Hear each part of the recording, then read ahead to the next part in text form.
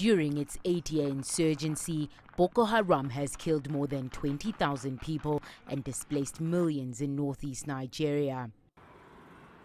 This is Dr. Fatima Akilu, a former psychologist from Britain's National Health Service. Her mission is to de-radicalize leaders of Boko Haram, their wives, and counsel the tens of thousands of victims. The society was galvanized around the issue of the Chibok girls, Uh, but nobody was putting together a plan for all the other victims that had had identical experience to the Chibok girls, and some had been held by Boko Haram far longer. Under her Neem Foundation, Akilu started a project called Counseling on Wheels. We use tricycles to reach those communities because most of them are not motorable. So we call that program the Counseling on Wheels program.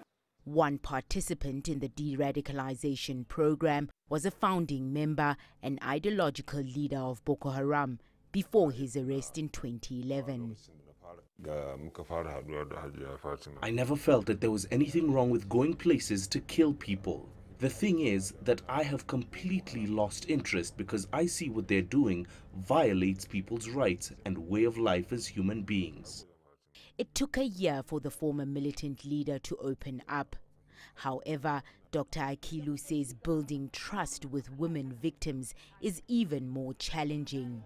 Uh, the women who have married uh, Boko Haram men uh, voluntarily, what they saw is they saw these swashbuckling boys come into town with a lot of money, uh, wielding weapons and a lot of power, and it was very appealing to them, probably like uh, if cowboys rode into town in the olden days.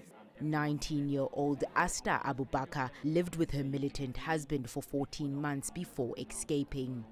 I wasn't the same as Boko Haram, but when we were with them, we began to share the thoughts. Her outlook has changed since she started the counseling program. Before, our lives had been affected by our stay with the sect, but when they brought us here and spoke to us, they started to change the way we think. We started to think differently to Boko Haram. Counseling on Wheels hopes to make a difference in communities one person at a time to help rebuild Nigeria. Thuli Tshabalala, CGTN.